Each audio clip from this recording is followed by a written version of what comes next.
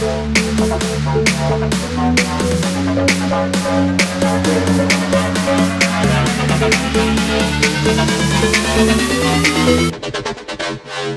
back.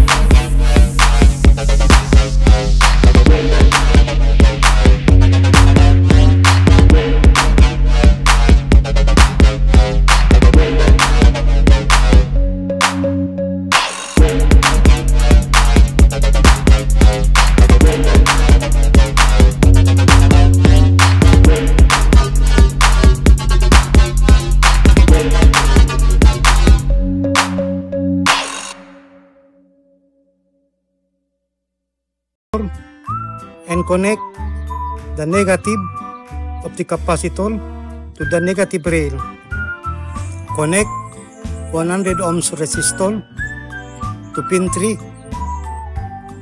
Connect the opposite side to the anode of the LED and connect the cathode of the LED to the negative rail. Place BD139 on the breadboard. Then connect the opposite of the resistor to the base of the BD139. Connect the M10 to the negative rail. Place the relay switch on the breadboard. Connect the coil of the relay switch the positive rail. Then connect the opposite coil to the collector of BD139.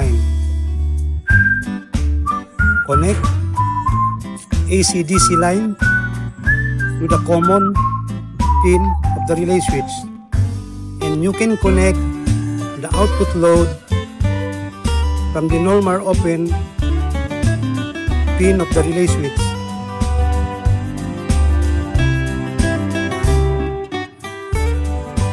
Place the momentary switch on the breadboard, then connect one side terminal to the middle of the capacitor and the resistor. Then connect the opposite side to pin 2 and pin 6.